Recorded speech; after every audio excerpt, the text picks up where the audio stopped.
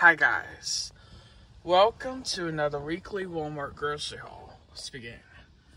So I got two cases of water, a case of Dasani, two bags of chips, four packs of Powerades, a pack of toilet paper, a big bottle of apple juice, some more butters, some more cheese slices, flushable wipes,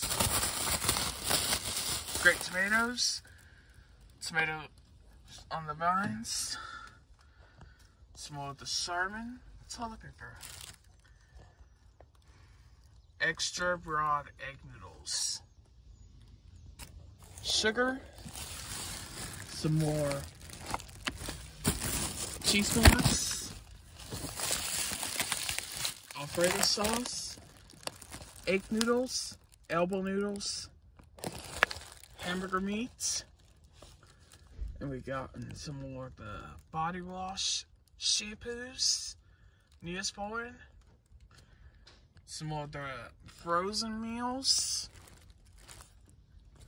chicken nuggets, some more chicken patties, and let's see.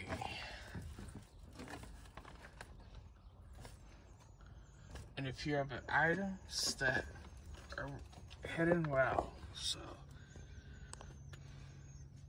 looks like that's it. So until then, hopefully be able to see all this Saturday, depending on the vehicle that we take. So until then, have a great week, and until then, peace.